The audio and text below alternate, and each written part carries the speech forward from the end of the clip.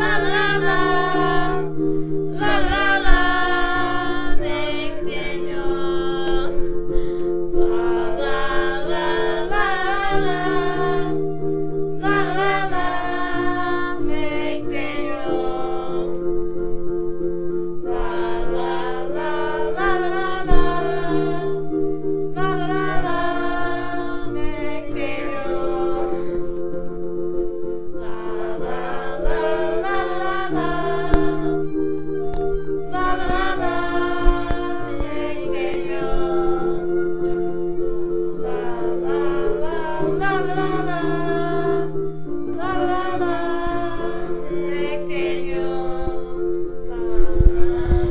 was released August 26, 1968. La la la, McDaniel.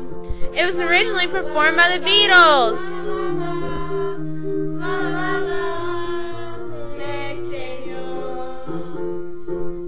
It was written by Paul McCartney for Lennon's son because his parents were getting a divorce. Originally, Hey Jules, the son's name, but the name Jude from the musical Oklahoma fit better. It was the most commercially successful Beatles song.